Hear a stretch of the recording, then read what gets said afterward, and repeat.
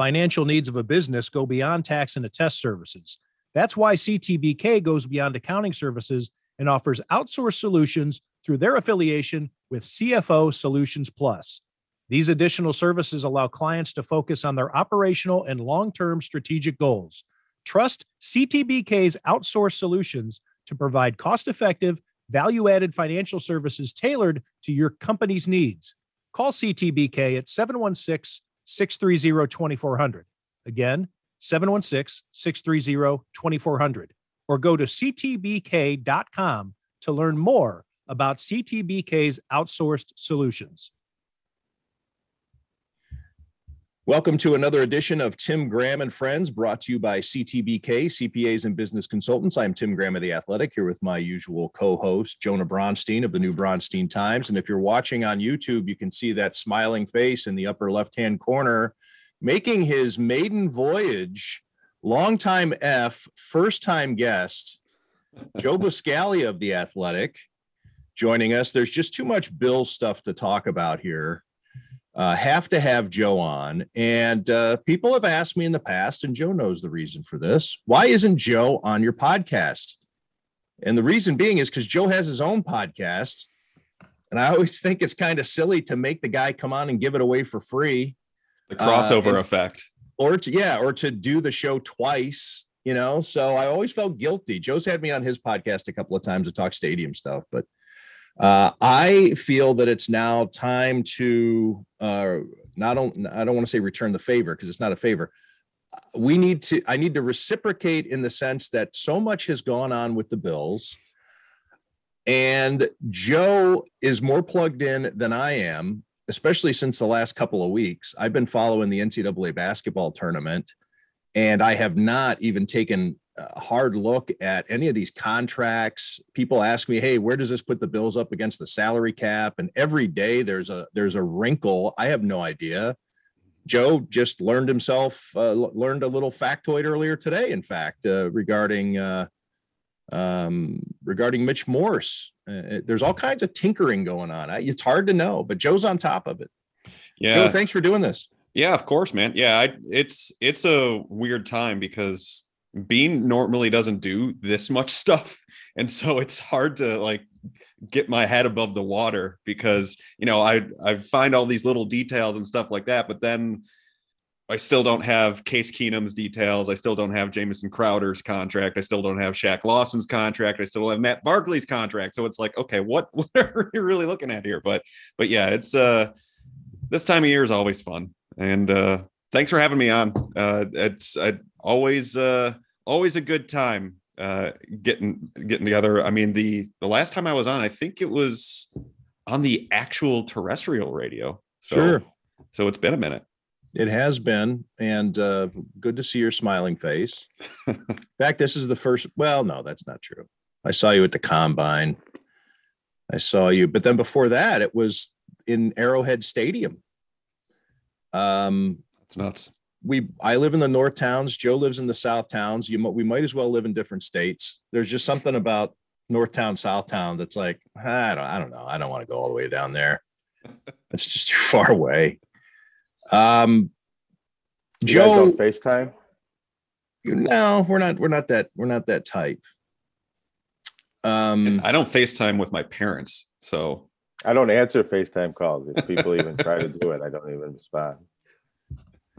So I, I don't want to uh, preface this question. Uh, I'll, I was going to add, well, all right, I, will leave it open ended, so that way I don't uh, I don't want to steer the conversation as much as let it happen organically. Joe, what's your favorite signing or or move that the Bills have made so far this offseason? I think it's uh, an overwhelming thing. They've kind of reshaped what the locker room dynamic kind of is. And I know that's kind of an abstract answer rather than just like a hard line, hey, it's Von Miller, or it's hey, it's uh I don't know, Jamison Crowder. But it feels like with some of the moves they've they've made, like you know, re-adding a Jordan Phillips, bringing back Shaq Lawson, bringing back Matt Barkley, it kind of feels like they want to turn back the clock on the locker room dynamic a little bit and you know they they got rid of some you know interesting energy like Cole Beasley's out the door now and so bringing in guys that you know by leaps and bounds what has been so important to McDermott and Beane is to have the right locker room chemistry. Of course, to have good players, but to have the right locker room chemistry and finding or being able to bring back all these guys that they know have a certain effect on on the people around the locker room. Like Shaq Lawson is one of the biggest jokers from from the early McDermott years, and his teammates just absolutely loved him. Jordan Phillips kind of along the same lines, a little bit more serious than Shaq, but still, those two guys kind of go hand in hand. And then um, Matt Barkley is a huge chemistry guy, even though he might not be nothing anything more than a practice squad. It just it almost feels like the Bills are slightly more likable is the wrong word, but like it, it seems like they're they're trying to turn back the clock a little bit to to recapture some of that uh, that juice, so to speak, from from the early playoff years to push them forward to a Super Bowl run. I, I don't know. That just kind of an abstract thought on it. Well, let's take a look at all of those different moves. You mentioned Cole Beasley, of course. Uh, I think that the most significant um, representation of what you're trying to say, Joe, is is cutting Star Lotulelei, a mm-hmm. player who really wouldn't have hurt them to keep around from a financial uh, situation or a salary cap situation. It was just time to move on from Star Lotulelei. Uh, I think as a person, uh, uh, for what you know, his his unreliability, his whether you want to call it his flakiness, uh, the fact that he sat out uh, 2020 uh, because he didn't uh, because he was afraid of COVID, but then didn't get vaccinated, and then he missed time because of the protocols. And and I think that you can't just you can't just assume that everything's going to be back to normal in the NFL. We might have another spike in COVID over the summer. You know, who knows what happens when flu season comes around again in 2022. Uh, the NFL might lock things down and reenact uh, COVID uh, protocols. So it's not to say that we're totally out of the woods, but optimistically, you would think, well, Star's going to not have to worry about protocol anymore. But anyway, he's gone. Uh, Jon Feliciano, uh, who claimed to have been vaccinated on social media, but also loved to joust with fans and argue. Uh, always seemed to find himself, uh, you know, trying to get into the, you know, the kind of the cold, uh, the Cole Beasley vapor trail or, or, in the wake of Cole Beasley, you know, that's sticking up for each other. So guys who weren't necessarily all in uh, are back. However, I do want to point out that Jordan Poyer isn't going anywhere. Mm-hmm. Um, so anyway, I just want to throw that out there, and I have no really idea where we're going to go with it, but it, I do think it's it is fascinating. Um, what what do we make of it, Jonah, yourself included? Well, let me. I'd ask more of a question to either both of you is this. Because if we don't think vaccination status is really going to matter as much next year as it did in the past is this a reaction or not a punishment but is this uh, you know that the players revealed something about their reliability through this issue that the bills don't want to deal with in right. a different context. Cause and effect. Yeah, I don't know. Uh, how important is football to you? How important is being a Buffalo Bill to you? How important are your Buffalo Bills teammates to you? I think that's probably the bigger question than uh, are you going to be vaccinated or not? And yeah. so Jordan Poyer, he, yeah, that's true. He did uh, he did uh, get on social media a lot and and stir it up, but he was out there every week and he was playing to his utmost ability every week. And Jon Feliciano was not and Star Lotulelei was not. And Cole Beasley's production dipped. And while you can say, well, that's convenient reason to get rid of a guy, it could also be some things behind the scenes of Sean McDermott thinking, I think you're a little too distracted with your social media and not putting in enough time at the facility. And I, I can speak from, I think it, it, this is an educated assumption. If you recall a few years ago, uh, when Lee Smith uh, became one of my all-time favorite locker room guys. He already had been, but working for the Athletic, you could quote Lee Smith in his entirety uh, mm-hmm. without censorship. And he was a go-to guy. The Bills were winning, and he was on the field, and he was f-bombing this, and he was cracking jokes, and he was fantastic. He was entertaining, but he kept having a strange penalty every game, a false start.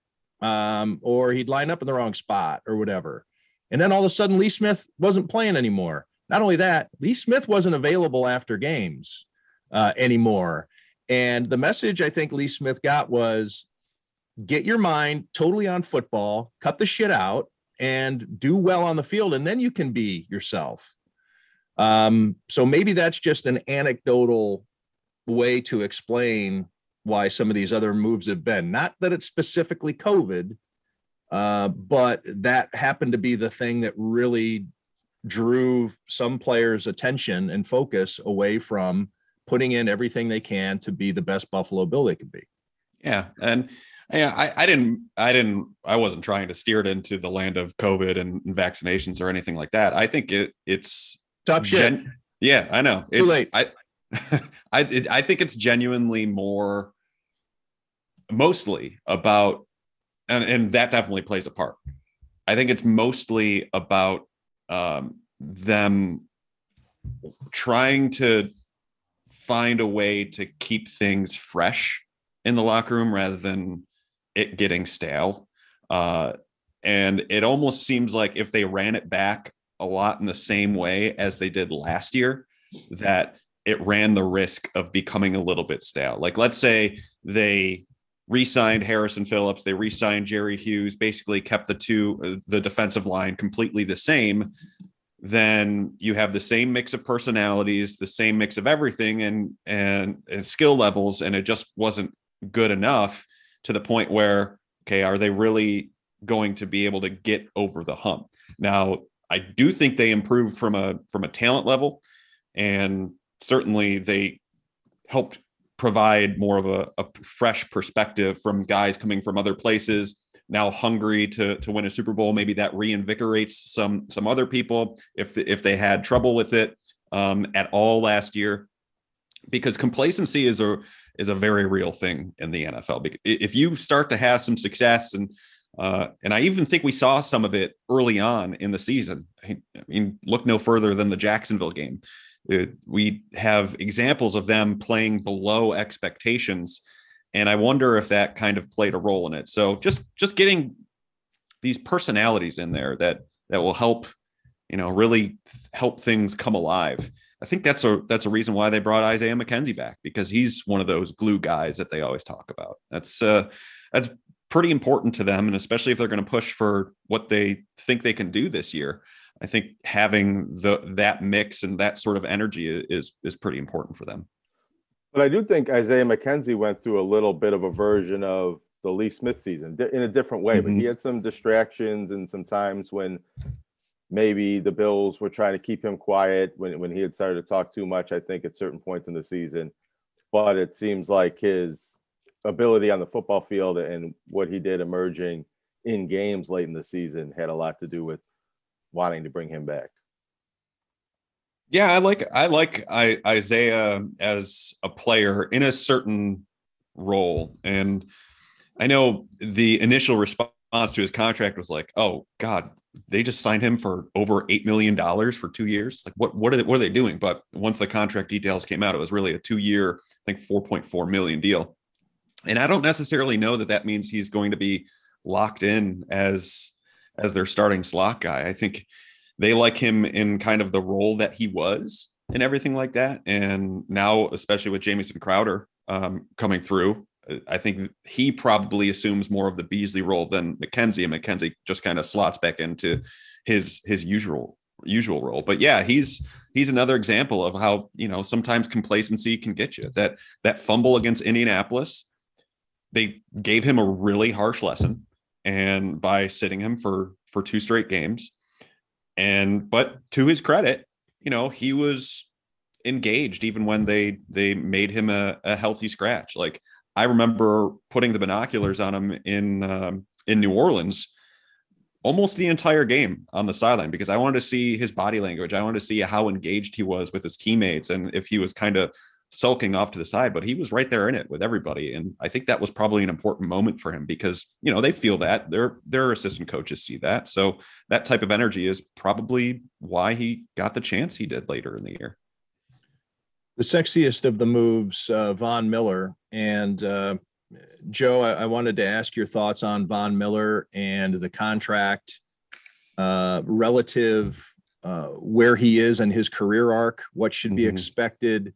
Um, I, I think that uh, Bills fans are savvy enough, especially since it's uh, now uh, several days removed from the splash, uh, that they are able to look at it and see that this is a two or three year contract. Uh, this is not uh, an eight year contract, or I'm sorry, a six year contract, I should say. Uh, he's not going to be pass rushing at 39. Um, Pro Football Focus, I believe, called this an average signing, meaning based on the money and what's to be expected, uh, you know, what what the Bills have to gain. I'm not asking you to refute or uh, or or underline uh, Pro Football uh, Focus's uh, assessment on it, but um, but what's yours? Well, all things considered, Von Miller, Mhm. yes, very sexy. It shows that Brandon Beane is not lying back. Uh, it shows uh, much unlike last year when when fans really wanted the Bills to make that one move that made it at least seem as though they are going to be better uh, to get over the AFC Championship hump. Uh, that that move never really came last year. Well, here's this one, um, and and especially right after losing some guys that this move came. It came right after losing Harrison Phillips and right after losing Levi Wallace and fans are like, well, geez, what are we going to do on defense? Well, here's your big name. Mhm. Yeah, I I mean I generally like the the pieces of the signing. Like there's always going to be question marks when you're signing a soon to be actually I think later this week 33 year old pass rusher um, who has really depended on his explosiveness a lot. You know his technique is still really good, but you know you you do lose a little bit as as you get older into the league so that was my primary concern because now like, like you alluded to it's it's at least a two year commitment probably a three. They can get out after two and basically break even and just have his cap hit on there um, which is around 20 million. But the the my my guess is that they'll probably extend it to three as long as he continues to be happy and they're winning and everything like that and the relationship is is good. My guess is it probably turns into a three. Um, but you have to wonder how effective he'll be throughout throughout the duration of the contract. But i think more than anything this is a a declaration for 2022 because you're not getting that guy without some sort of commitment into the future. And for and he's still a really effective player. Is he the same Hellraiser that he was earlier in his career? I don't think so. Um, I'm aiming to watch every single one of his snaps from this past year, maybe the past couple in in the next few days here, to really get a sense of who he is now. Um, but from what he looked like in the playoffs, he still looked like he had a lot of juice and had that um, finishing capability that maybe the Bills had been lacking. Because I, I feel like I was one of the last people on on the Jerry Hughes is good bandwagon uh, because his stats weren't there. And but even though his pressure rate was top 10 in the NFL every single year, but there it just didn't have that finishing element to it. So now they think with Von that they have that finisher, the closer, if you will, to bring down the quarterback and make or bring attention to him away from Ed Oliver, which in turn could make him into a star this year, help out the rest of the of the defensive line, and then from there, the off the field aspect to it, which I think is pretty important to the signing, because he is, you know, being being there when when he rolled through the the media room on I don't even know what day it was. Was it Thursday, Friday? Can't remember. Um, it just felt like there is a a certain star quality to him like a presence. You you you're in a room and you see the guy walk through and it's like and he just kind of like demands the the attention. I and from stories that I've heard from people like Jordan Rodrigue who covers the Rams for the Athletic you know that was the kind of focus that he brought to the Rams as soon as he got there. And it was one of the the big reasons that that uh, helped them get over their playoff hump. So, although all those things considered, I would call it an above average to good signing. Uh, the money isn't great later on, but you know it. The if he helps them get to where they want to go in 2022, they don't give a crap what's happening in 2024. And they're certainly not going to pay him $30 million in base salary in 2027. Tim thinks he's sexy. I don't know if you heard that. I did hear that. He emphasized that a few times. It's a sexy signing. Uh, he does. Uh, he does always wear fashionable glasses. I will say that. What about the uh, defensive line as a whole, Joe? A lot of moving parts there. Guys coming, guys going. Mm-hmm. What's uh, what's your overall assessment of where the defensive line stands now, and who do you think is maybe the odd man out, if there is one, uh, among the pass rushers? Yeah, it they definitely reformatted it. Um, the only they changed out five pieces out of nine that they had last year.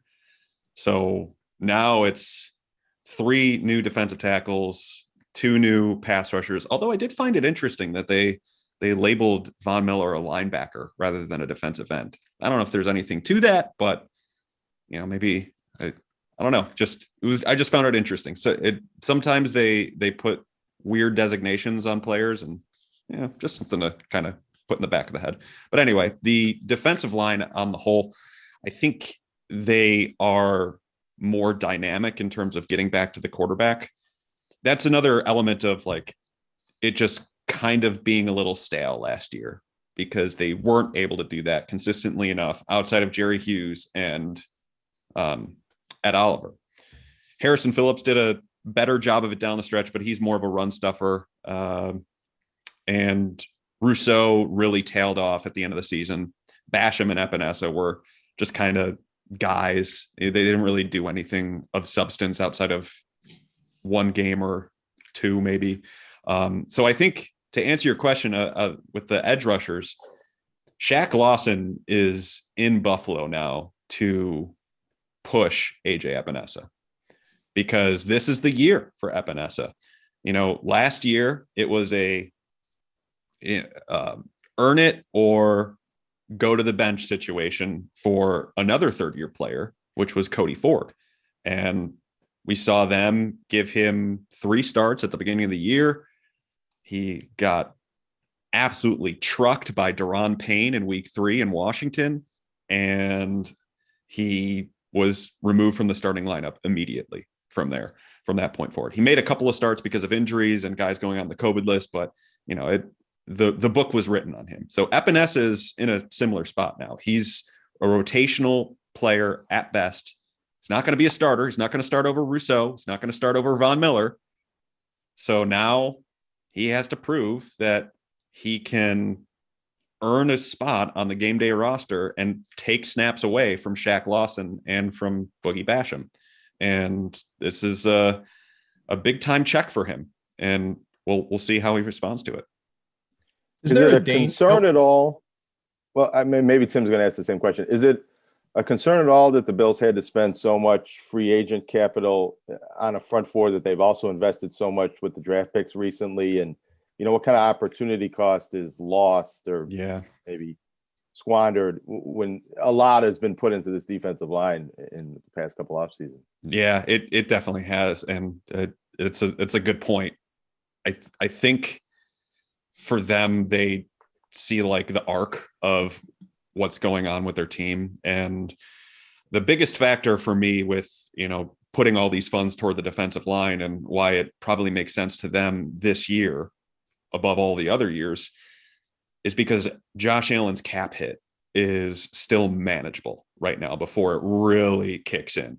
This year, he's, I think, at 16.37 million uh, on the cap and they can reduce that a little bit. But in 2023, that that that sucker goes up to 39 mil. And so now for them, they they look at it probably like, okay, this is an opportunity where we're still kind of in a rookie window. Not really, but you know, basically a little bit. And to fix the defensive line right now, maybe even put a band-aid on it just for now until some of these young guys maybe grow into it and go with a proven commodity rather than continue to draft to the position. So yeah, definitely they've sunk a lot of resources into it over the last 2 years, last 3 years really. but to them, that is probably the missing piece of what can help them get to where they weren't. And if they were just a tiny bit better at getting to Patrick Mahomes last year, maybe they don't have to worry about 13 seconds. And that's probably what's stinging in their brain more than anything. And perhaps it's a bit of an overreaction, but you know, they feel like they're close. And if it ends up in a Super Bowl win, then they won't give a crap. How careful do Bills fans need to be regarding Shaq Lawson? There's an excitement level about Shaq Lawson that I feel is really out of whack. Uh, yeah, he's fun. Uh, he's a great. He's energetic. First round pick. Uh, yeah, first round pick.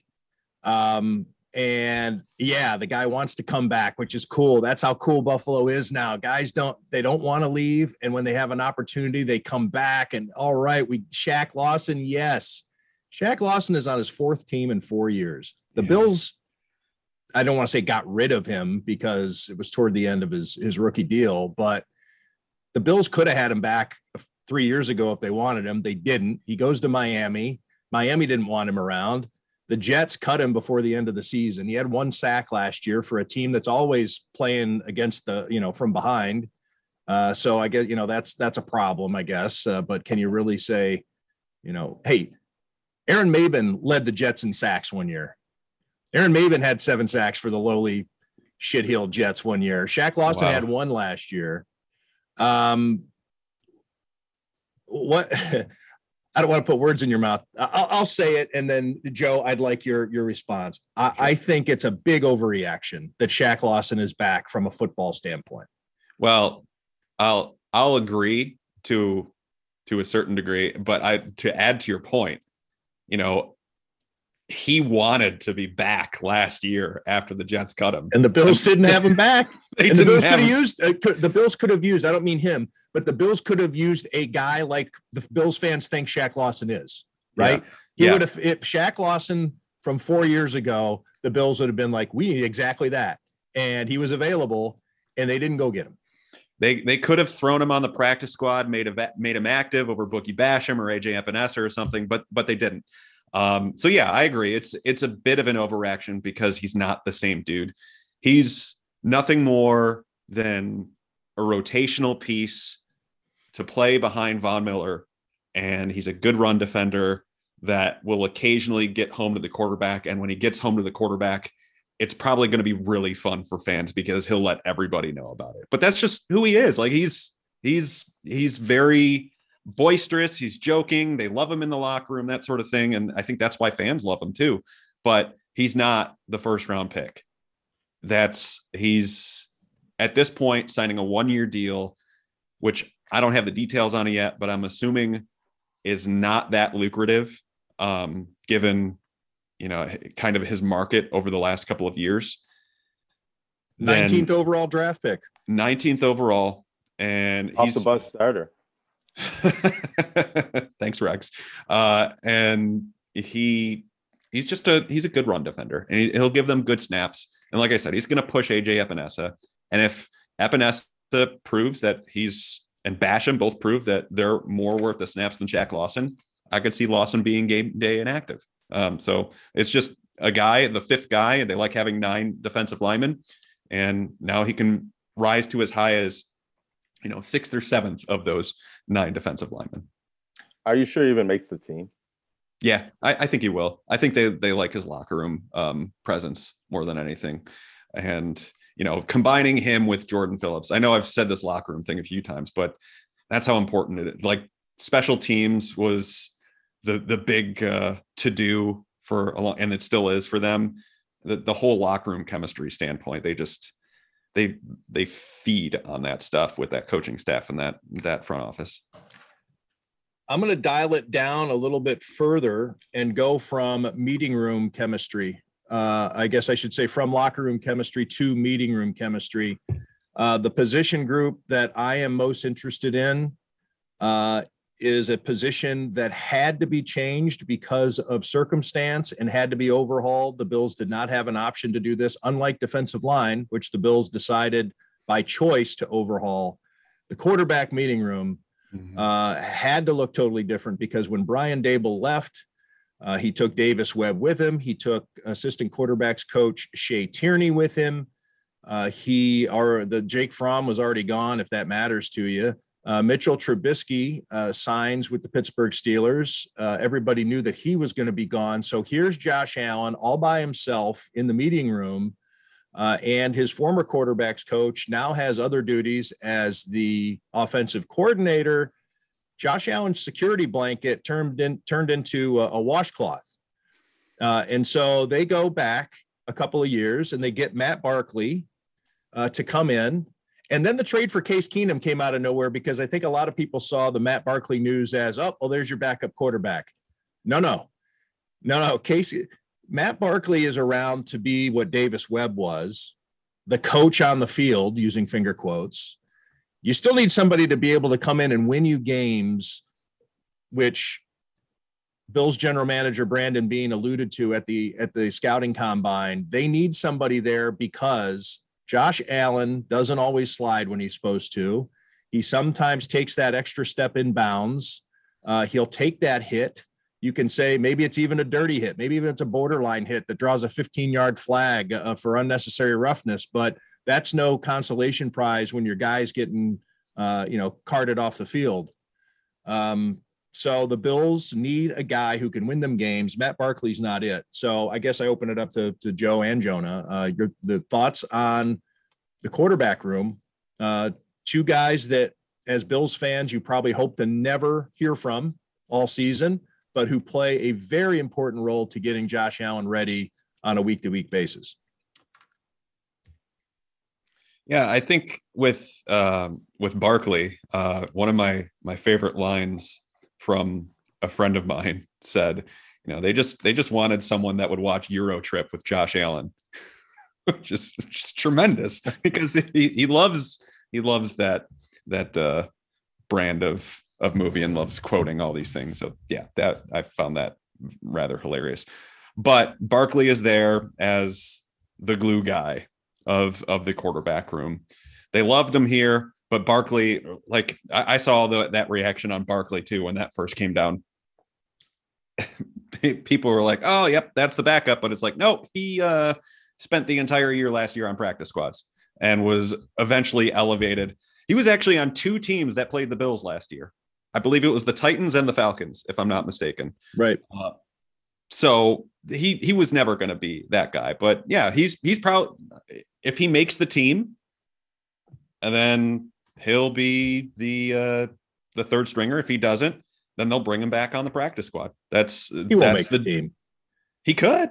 He could. They're not keeping a, a special teams running back this year, so um, maybe he could. Uh, you know, know, and it could be like as a favor type thing too. Like we'll keep yeah. you on the roster as opposed to the practice squad because that has implications with things like your pension and your mm-hmm. accrued and things like that. There's obviously a status aspect to it, but I don't think that Matt Barkley was in demand Oh no! Oh no! And no, no. you know he wanted to come back. I mean, things are good for him here. Mm-hmm. Uh, he can, if he wants to launch a career as a coach, uh, being known as Josh Allen's prep guy isn't isn't the worst way uh, to start your your assistant coaching career if you want to become an offensive coordinator or head coach in the NFL someday. I don't know yeah. if Matt Barkley has any desire to do that, but it beats uh, being the practice squad guy for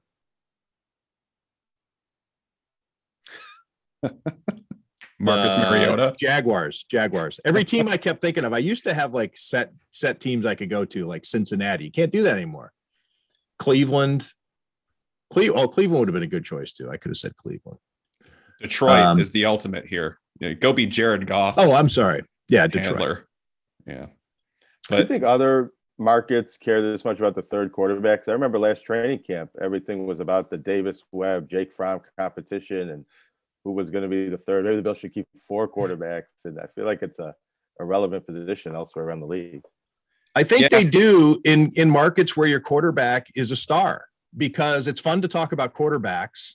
Uh, everybody's gone out in the backyard and thrown a pass or tried to hit their buddy on a on a seven yard out. You know, there people think you know there's something about quarterbacks, and when your quarterback is set, sometimes they can get boring in terms of things like training camp and Yeah, I, I think that's all it is. I think people just are fascinated by quarterbacks. I, you know, think of uh, Drew Brees. You know, behind him, you know, there was There's always a discussion. 32 good quarterbacks, much less 96. Mhm. That's right. something like that. Well, let's have a fun quarterback conversation. Do you, either of you think the Bills should have considered Colin Kaepernick? If you need a backup quarterback, and that's somebody with a talent skill set that might be a little similar to Josh Allen. Yeah, I think they absolutely should have thought about it if the money was right, and that that's the biggest part to it because they when they acquired Case Keenum, they reduced his salary down to three and a half million. I think it was. Field Yates reported that. We don't have the contract the details on it yet, but if if he was willing to come in and be that backup for three and a half million, then absolutely they they should they should have kicked the tires on him. I mean, super fascinating skill set on him. I mean, and I don't know how um, how he translates into the Bills' offense with Ken Dorsey running the show, but a lot of similarities with with Allen in terms of arm strength and uh, you know the ability to to rush to the edge, and he could definitely come in and, and steal games. So. Yeah, I, I think he absolutely should have been on the radar if if he wasn't. Um, but you know, knowing what might get Kaepernick back into the league, I think the option to potentially start uh, might have driven his his interest elsewhere if he is going to get that. But I think he absolutely should be in the league and, and get an opportunity somewhere. Like you know, Atlanta is kicking the tires on Marcus Mariota right now, and maybe it works, but that was mostly due to a, a past relationship with Arthur Smith uh, in Tennessee between Mariota and and uh, the coach. Um, Jameis Winston is getting another chance in New Orleans, and I'm just it's just like okay, it's let let the guy come in and compete with someone. Um, the Bill situation is just different because there's more of an established guy. But if if they were looking, then they, they should have called him. Colin Kaepernick, uh, his absence from the NFL for a few years now has has provided the convenient excuse for any team that wouldn't want to bring him in. It would be like, well, he's been out of the game too long, and the reason he's been out of the game too long is because nobody wanted to give him a chance when things were too hot. Yeah. And now that Yep. things have cooled down, you can still have your convenient excuse. And uh, I think it's going to have to take a very brave team to bring him in. And I think that uh, it is a shame, and people have made this uh, this allegory that uh, the Browns probably feel like they're very brave uh, to bring in uh, Deshaun Watson, but just taking on risk doesn't make you brave. Mhm. Uh, I think that um, it would be a very brave thing to do in in actuality to uh, sign Colin Kaepernick and, and bring him into the fold uh, onto your team. Uh, you know, Seattle, you know, Pete Carroll had some things to say about that uh, last week regarding, oh, he absolutely deserves a second chance. Well, okay, Seattle, um, hey Pete, you're starting Drew Lock.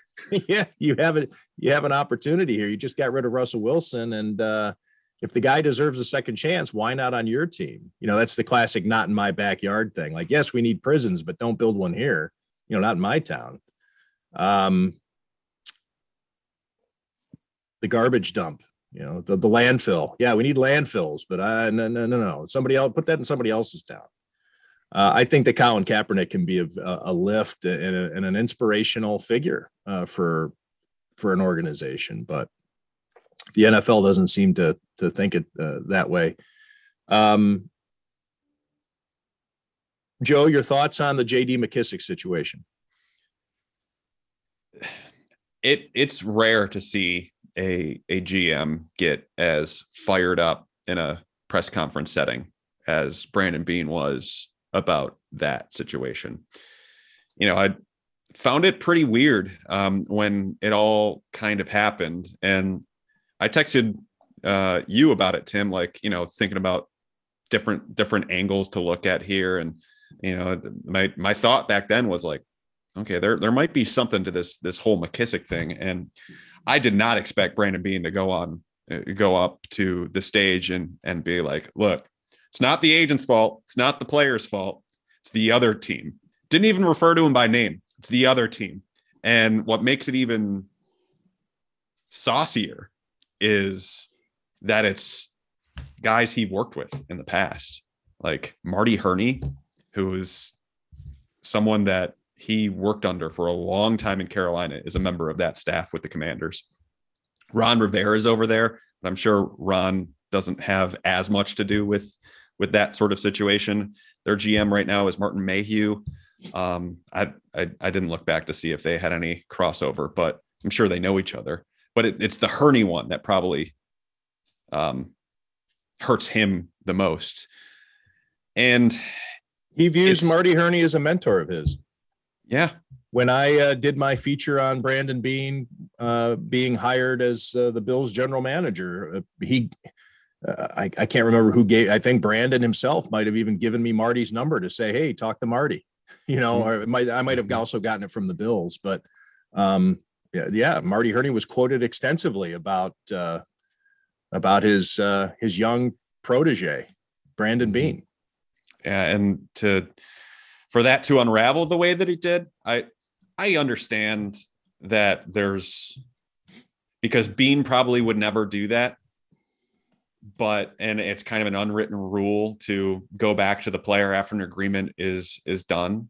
But not everyone plays by the same, I guess, moral obligations when it comes to being a GM in in the NFL, if there is such a thing. Uh, so I I understood where he was coming from. I understood why he was hurt by it because of the personal relationships to it. Like the last person you're expecting to to do that or be affiliated with that is someone that you looked up to for for years and years and years, or at least learned from.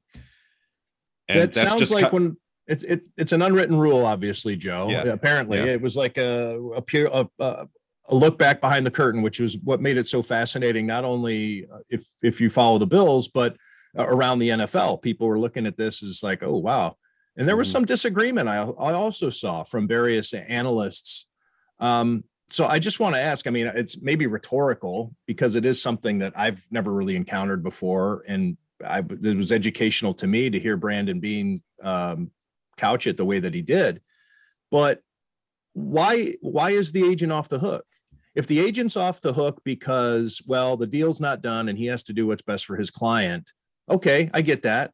Well, if the deal's not done, then why can't a football team do what it feels is best for it? So it seemed as though, and I'm reading between the lines, that maybe Brandon was upset because of who it was, not necessarily that it was done, which is to the point of what you're saying. If it were the Detroit Lions had done it, maybe Brandon's not as upset. And I'm again, I don't know that for sure, but to me, it seems a little uneven that the you know the ink the, the deal wasn't signed. And we hear about these all the time in other sports um where you know an offer sheet in hockey or there's all kinds of things there's all kinds of mechanisms. If the deal's not done although maybe he's saying because it was in that pre you know, right. the pre you know because the year hadn't started yet. I, I mean i get it but if the agent's allowed to keep looking out for his best interests i I think that the team it seems it seems to be um just as ethical from from that standpoint There were Yeah, I- other players that did this. It's not like this Right. is the only situation around the league that went that way. I think there are two like um, ways that that it could happen. Either a the, the player gets cold feet and um, decides that that offer isn't right for him before he actually signs, and B, which I think Beane probably would have been a little bit more understanding from that perspective if, if it was just McKissic saying, "Hey, you know what." I don't know that I that I want to move up to Buffalo. I thought about it, slept on it, excuse me, everything like that, and I, I want to I want to see what else is out there for me. I think it was the act of after the agent had communicated to Washington after not having an offer in the in the first place, like uh, then going going there and be like, well, you haven't signed yet, so let's let let me let me tell you our pitch.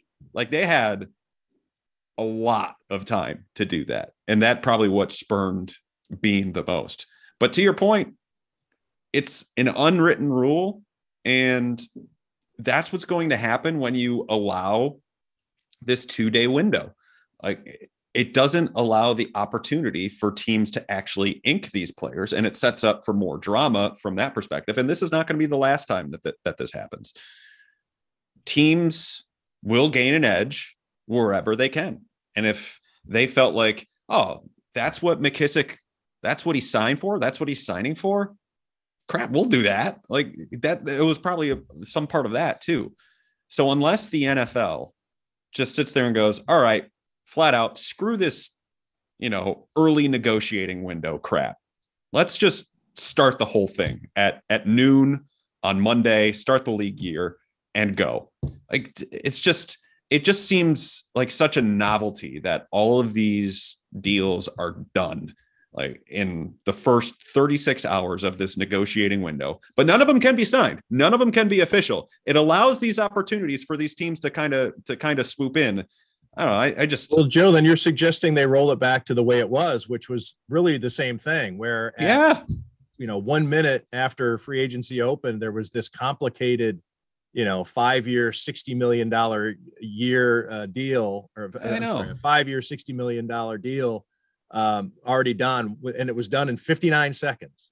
Yeah. Uh, it, I, I, I mean, I, I and uh, bonuses and all kinds of things. I know. Like, wow, man, that, that was pretty impressive. Yeah, the, it's elite negotiating skills. I, it's just, it's to me, it's like everybody knows people talk before the fact, and and people talk even well before the combine about these prospective free agents. No one is like, oh my goodness, they're talking. Everyone's in the same freaking place in Indianapolis. They all go to the same bars. They all go to the same restaurants. Everyone's communicating. Like let's let's not let's not act like this. There's just this layer of ice between the start of free agency and um, and where you are post Super Bowl. It's just it's kind of silly that the NFL is keep, keeps going with the charade. Right. Well, what do we care either way? Like if this is how they negotiate, this is how they negotiate. Yeah, exactly. Just just because it's like the the accounting that you have to you have to go with there. Well, can't negotiate until two days before. Well, people like even even then, I think there was a deal that came down where um, it was done within minutes. Who was it? Maybe Alex Cappa of the Bengals. There was like this big contract that that he signed pretty much first second that the window was open. It's like, well, how'd they do that? It's just it's just very silly. Let's uh any other Bills thoughts uh, before we change uh topics here? Uh, do we want to talk about the offensive yeah, line? I have a question for Joe. Oh, go ahead, Jonah. Not about the offensive line, though But it in general, how can you explain and without it taking an hour, a little bit of how a team that was up against the cap and really over the cap. I have to get a haircut in a half hour, by the way. was it, how the Bills, but how any team can create all this cap space and pretty much sign any player they want, including yeah. a really big money free agent, Von Miller.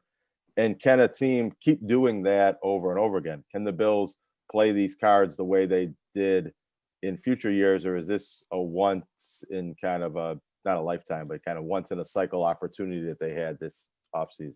I think for them, the way that Beane usually likes to play, it's a it's a once in a cycle opportunity because of Allen's contract and the fact that they have been so close the last couple of years. I think that plays into it. But there are ways that you can uh, that you can maneuver the cap um, every single year. I don't know if it's to the sense in that you can just keep doing this year over year and not lose anybody um, you're going to lose people because eventually all of those all that money that gets pushed down the line is going to impact your cap pretty significantly to where you have to release somebody you didn't probably didn't want to. So to answer your question it's the way that i kind of look at the salary cap is it's fluid more than a hard line um, there are multiple things gms can do and the thing that Beane did more than anything, more than any other year this year, was add a lot of void years to contracts, whether it be pre-existing ones and um, and new ones. Like the pre-existing ones, the the go-to for that is you can do this thing called a, a basic conversion, where they convert a, a big portion of their base salary and maybe the roster bonus they were due that year, and then you can prorate it over the duration of the contract. So an example is uh, Micah Hyde, who they pushed him out three years past the conclusion of his deal. They added three void years to it, and it created, I think, around five and a half, maybe 5.8 million on on this year's salary cap.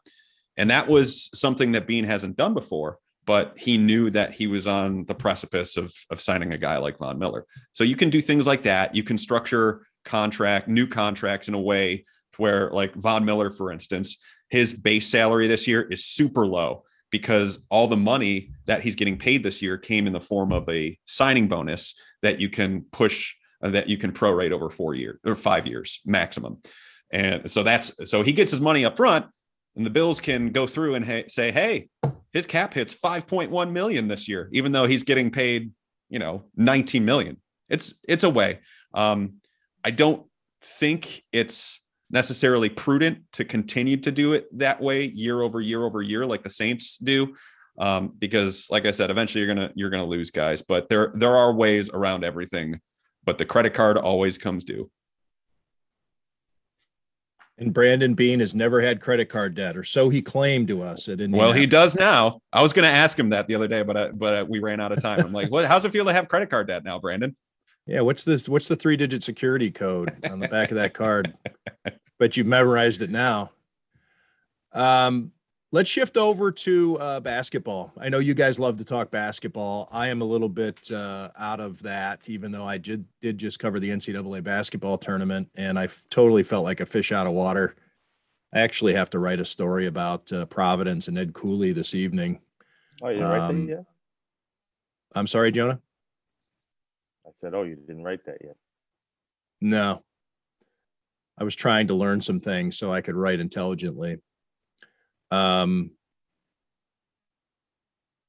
go ahead. I'll open the floor to you. Uh, to you guys. Hoop heads. Hoop heads. Yeah. Hoop heads. I mean, Joe, what did you do this weekend? What games did you watch, or what what caught your eye basketball wise in the first weekend of March Madness? Yeah, um, I thought the how and, and it's a low hanging fruit, but I, like St. Peter's is just an amazing story going through and beating Kentucky the way that they did, having having that coach who, you know, just eh, long time history in college basketball, and then going through and and beating one of the the hottest mid majors in in Murray State. Um, the, the game wasn't even like particularly enthralling, just because it wasn't like high scoring, back and forth, anything like that. But you know, them being able to push through into the Sweet 16 is like, uh, to me, that I, am not a huge college basketball guy. I'm more NBA than than college, so I'll, I'll defer to you. But that's that's got to be one right up there with um, things you you look back on in tournament history. Like, wow, that that was kind of ridiculous that that happened. Yeah, oh, yeah, absolutely. I mean, it's only happened three times. One of them was last year, a 15 seed getting to the Sweet 16. But you know, I covered along with Tim the two games in Buffalo on Saturday night, and I ended up writing about St. Peter's for the most part because there mm-hmm. was there was a local connection with that story, and it was the big story of the tournament. Uh, the athletic director Rochelle Paul is a Williamsville East graduate, a Canisius lacrosse and soccer player, and came from working at Canisius and for the MAAC. And just in general, Shaheen Holloway has a Buffalo connection, having played in those first NCAA tournament games in 2000 in Buffalo and then just being a team from one of the Buffalo schools leagues and the MAAC hosting the NCAA tournament in Buffalo and St. Uh, Peter's wins over the course of six years is going to be worth at least four million, if not more, for the conference. And it shows that St. Peter's was a good team, probably the second best team in the league all year long, and, and ended up winning the tournament. But it shows that Canisius or Niagara or any other team in the MAAC with the right coach and the right players and the right team at the right time can go to the NCAA tournament and can be the big story, the big national story, and do, you know, reach that level. That it's not unattainable for any school at the Division One level. All you have to do is be the best in your league, and you'll get that opportunity. Holloway's got to be gone now, right? Like there, there someone's going to scoop him up. I mean, it's it's almost seems faded that he's going to be the Seton Hall coach. Seton yeah. Hall lost Ralph Willard to Maryland. He was an assistant under Ralph Willard not that long ago. The Seton Hall AD is formerly the St. Peter's AD that hired him at St. Peter's. Uh, he played there. It just seems, unless there's another big job that goes after him and it's more money and more prestige, something like that could happen. But other than that, it does seem pretty not set in stone, but it does seem like he'll be the Seton Hall coach sooner or later. I'll the flip it o- ability to to unfurl that Sweet 16 banner, if you're a Metro Atlantic school, that has to be the equivalent of winning the whole thing, pretty Yeah. much. Pretty, I mean, it's never happened for a men's team. There's a couple women's teams have done it, and that was a big deal. But financially, it's not as a big deal doing it in the women's tournament. It doesn't net the conference that kind of money, and the media exposure isn't the same thing. But basketball wise, it's it's a big deal. But yeah, it's never happened in 41 years of the MAAC. It's been rare for teams to win just one of the games. I think that's only happened like a half dozen times. I, I feel like I, I mean it's it's an awesome story. Horrible matchup against Purdue coming up. I mean, they've got size, they've Yeah, got NBA size. talent. It's like you could probably stack two St. Peter's players and they won't be the size of Zach Edey. Down low, he's like what, seven three, seven four. Right. Yeah. Uh, I mean, but Kentucky's really big too. Kentucky Sure. had some issues with shooting and being a young team. I think Purdue is, especially with a few days now to prepare. I, I- I think it's going to be tough for St. Peter's. But Yeah. once you win one of those upsets, you have the belief, and, and then as fans, we can watch and think they might do it again. You've seen them do it once, and you know, if Kentucky played Purdue, we'd say, you know, maybe that's a toss-up game or whatnot. You wouldn't think that Kentucky can't beat Purdue. So a team that beat Kentucky, it's almost like in boxing. Well, they, they beat Mhm. the champion, so now they can beat this guy too. Um on the uh three peacocks in a trench coat. yeah, just, I- just St. Peter's has a big guy. I'm forgetting his name right now, who was the defensive player of the league in the MAAC. They have a little bit of size, and not like a team that plays all guards and going to be totally overmatched. And Shaheen Holloway had that really good quote about being, you know, we're not afraid of teams that are bigger than us. We're bigger and tougher, and we're from New York Mhm. City, and that's what Mhm. we do. But yeah, as you mentioned, uh, Purdue also has Jaden Ivey, one of the best guards in the country, and they have multiple big guys. They're one of the biggest teams in the country, and it just does seem like this is maybe where the the run ends for St. Peter's. But you know, they did it twice, and maybe they can do it again.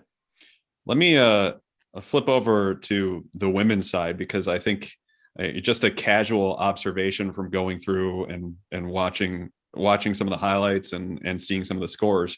Does it almost feel like there's maybe not with the with the top seeds? Does it almost feel like there's more parity and and ability for upsets now than there had been previously? Because we see teams like South Dakota make it through to the Sweet 16. Um, Yeah, but you Okay. see also these, you know, you'll see like a, a seating that's like, I don't know, a 12 and a four, and that's a 50 point blowout. Like Yeah, there's some yeah. of these games that are just so out of whack. It's not it even- feels it- like it just feels like the gap is getting closer. Not like the top teams because you know you still can probably count on south carolina stanford uh, nc state louisville UConn every everything like that. But like baylor lost and baylor's been a huge huge team in, in women's college basketball for literally. for yeah for for a lot of years. Um so i, I don't know. It- the casual observation open it to the panel. I do think that's the case. I mean, I don't look Mine's at it and study it and know the statistics every year, but I do know when Marist came out of the MAAC and went to the Sweet 16, and St. Bonaventure did this around the same time, maybe 15 years ago. In each of those cases, every other team that was in the Sweet 16 was like a one, two, three, or four seed. So it was very uncommon for anybody but the top four seeds to advance to the second weekend of the tournament. And now, just anecdotally, you're seeing ups- upsets that I don't remember seeing before lower seeds and top teams with top players losing in the first or the second round more often. And there are still dominant teams, but it's not the same Kentucky playing Tennessee every year. And it used to be the Final Four was almost the same three, four, five teams trading spots every single year. And you're seeing a little bit more women's programs cycling in and, and not parity, but more variety and who are the best teams year in and year out. Yeah, yeah, absolutely. Um, the other the other college uh, thing I'll mention that that's cool. Uh, I mean, the local name that everyone knows, Turner Battle. His Middle Tennessee Blue Raiders. They're in the uh, well, he's an assistant coach there. They're I think in the semis in the CBI. So that's that's another Buffalo angle to to root for as Oh, these you- tournaments You got going that on. on me. I, I I have not been paying much attention to the CBI. I didn't know that. And Yeah, yeah. There's for a Turner, they were a good team that was near the top of their league, and I thought maybe had a chance to make the NCAA tournament, and they did not. yeah. UAB snipped them. Um, and they uh The Yeah, moils of college huge. basketball. yes UAB. Turner battle boy. Snipped them.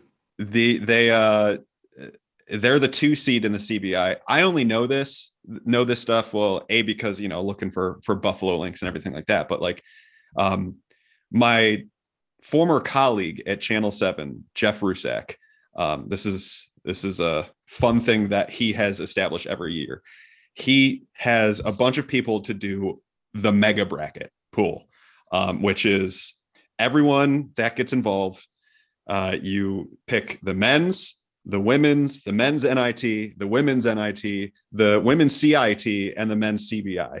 And you have to do brackets for all of them. And whoever has the best cumulative wow. score through through all of those uh, is declared the winner. So got to do your homework like the day that's, before. That's pretty wild. I've never heard of anything like that. Wow. Yeah. But that answers my question. I was going to ask you how invested you are in the NIT and how much you've been paying attention, but you must be watching all of these games and circling your brackets day and night, covering six different tournaments at the same time. Oh yeah, uh, well yeah, I, you know, major props to Jeff Rusak for you know shouldering this burden to go through and to actually like score everybody. You know, we just wait for like a week and a half to pass to see who when he has the time to to see. You got to go check his winning. work. That's the type That's of true. thing that the commissioner might be able you. to, you know, slip in a couple extra points for himself or to a friend. That's true. You know, that's true. I trust him, he, but his his his brain. He's one of the most creative people uh, that I know. And uh, as soon as he's like, "Hey, let's do the mega bracket," I'm like, "What the hell is the mega bracket?" and we've been doing it for like four or five years. Well, let's ask college basketball beat writer Tim Graham how excited he is for the NIT quarterfinals tonight. Bona playing at Virginia on ESPN. One more win and they go to MSG. Just how much does this rate on your sexiness scale? I think it's well, as far as uh, Western New York basketball, I think it's getting up to the sexiness of hosting the first couple rounds. Uh, because St. Bonaventure, you know, the NIT is still with the exception of those, you know, play-in games, the NIT is still, you know, pretty much the same uh, tournament it's always been in term in in regard to um, its prestige, and it is not the 65th or now the 60 whatever, however many, whatever best. It used to be they're the 65th best best team in basketball is the NIT champion. That's not true uh, there's still a lot of prestige involved. I know that the the uh, the alums at St. Bonaventure uh, would be thrilled to see it happen, and in the way that they're doing it, to have to go all the way out to Colorado. Uh, I think the farthest the team had to travel in the first round. They didn't eh, eh, come anywhere close yes. to playing even in their own time zone. They 5, go out to Colorado, five thousand five hundred fifty nine miles, and they win at elevation after not being able to practice out there. That's no small feat. Uh, then to be able to uh, win in their second round game, also a big travel. You know, they're they're not able to play at home. Now they have to go play at Virginia. And I know that there are a lot of Bonaventure fans uh, and alums who are upset about the so-called seeding aspect because based on all the upsets that there have been so far, Bonaventure should have hosted a game by now. They're not. They're going to play at Virginia tonight. Um, so, but that's the chip on the shoulder type thing that makes this sexy. I think that if they if they didn't have that, if they don't have that finger to wag at people and uh, the ability to you know uh, consider themselves overlooked and, and play the whole Bonaventure uh, ID up to the hilt like they have been, and Mark Schmidt has been, and I've I've seen the post game uh, news conferences that have been posted on on social media. I think that's what makes it really cool. And I think normally I wouldn't really be that into it, but um, Bonaventure having to overcome uh, seems pretty cool to me. And it yeah. is a team that over the last couple years has always played better as an underdog. They're the only team left in the of the eight remaining that had to win two road games. It didn't get any home games, and probably the only one of the eight that didn't play in the at home in the first round. I think there's a legit complaint maybe from Bona fans about the seeding and the season they had and where they slotted in the A10 and three other A10 teams getting top four seeds and Bona being the one that didn't. So they didn't get that initial home game. But I will say, if you know the NIT, that is how there's no gripe that they should have been home tonight because they were the five seed. That's how the NIT does it. They only seed one through four. Everybody else is unseeded and could play on the road or could play at home. And they decided based on how they want to do it with ticket sales. And it used to be the whole NIT. Canisius hosted two home games in 1995, I think was the year. and they weren't seeded. They just thought they could sell tickets in the odd, and they did. So that's just how the NIT has always worked. It's always been this kind of backroom national invitation tournament where they make the matchup. I don't really have a problem with that. It's part of the charm, but I but I can also under, understand that the proud uh, fans down uh, in the southern tier and the way that the Reilly Center is such an electric place when there are games that have stakes. Uh, it is such a fun atmosphere. They just can't sell as many tickets. I think that the Right. NIT would rather just go for tickets sold rather than environment. Yeah, they're a, they're they're um I'll, I'm looking forward to watching that game uh this evening and if they can sneak through, I mean getting to MSG is no small feat. There you know, the other side of the bracket's probably I think I think they would have to deal with Xavier probably if um I think Xavier and Vanderbilt are the two teams. yeah, yeah, one of them. it seems Vanderbilt barely snuck out the win over Dayton. I saw. Um, it seems like Xavier's always good in the postseason and tournaments. Xavier's a team that was in the A10 not that long ago and a Right. bit of a traditional rival for Bonaventure in a way. I've always said year to year when whether it's Bona or UB and people are talking about whether they get into the NCAA tournament or not, but they seem like a definite NIT quality team if they didn't make the tournament, that this would be uh, more fun to follow and maybe a more memorable season to see a team make a run in the NIT to MSG Mhm. than as opposed to losing one game in the NCAA tournament. Maybe if you win or you're St. Peter's or what Buffalo did a couple years ago, that's better. But Bona hasn't won an NCAA tournament game in their last. They won a playing game, but they haven't won a first round game in their last three, four, five times they've made the tournament over the years. And, and making this run to MSG if they do win this game tonight could be a pretty memorable and, and special end to this era with these seniors. It's the 35th anniversary of when they won the NIT in 1977. When they were in the NIT a couple years ago, they lost that first game at home. So they haven't had this kind of NIT run, NIT season in a very long time at St. Bonaventure. Very cool stuff. We'll have to save NBA talk for the next time uh, Joe Buscaglia comes on, and and also Jamison Crowder. Hmm. Um, I had a dream last night that Cole Beasley was living in my basement, Wow.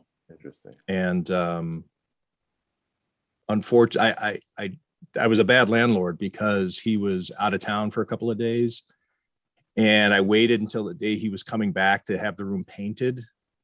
And so that wasn't nice of me to do because of the fumes and everything. And it's a basement room. So there wasn't, you know, like great, you can't just open windows. Mhm. And uh, he came back from his trip. I asked him how he was doing. He didn't say anything, you know, to me, you know, un- unusual. I apologized for the paint job and that it was so late. I had to go to work. I went to work and was informed that uh, he had been suspended, that the Bills had suspended him. And I'm like, holy smokes, what a bad weekend. And he didn't tell me about it.